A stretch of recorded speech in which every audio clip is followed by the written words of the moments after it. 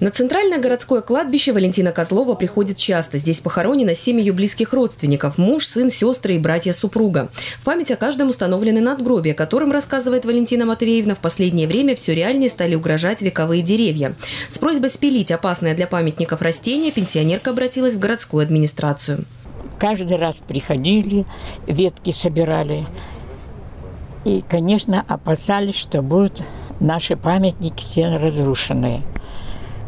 Я обратилась к Пахомову Анатолию Николаевичу 16 августа, чтобы он в этом вопросе помог. Я не ожидала, и я всех благодарю, кто отозвался на этот ну, на мою просьбу. Помочь решить проблему глава города поручил руководству кладбища. Уже сегодня здесь закипела работа, дерево пошло под пилу.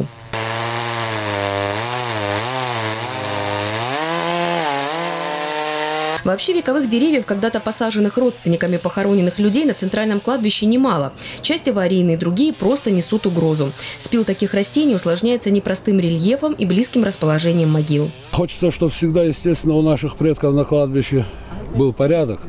Вот. Ну, э, недавно прошелся ураган, пришлось убрать 18 деревьев.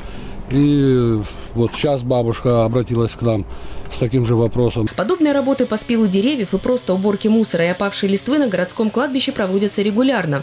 И, конечно, в первую очередь внимание уделяют таким, как Валентина Козлова, тем, у кого практически не осталось родственников, которые могут оказать помощь. Галина Моисеева, Ольга Десятого, Демид Даниловский, телекомпания ФКТ.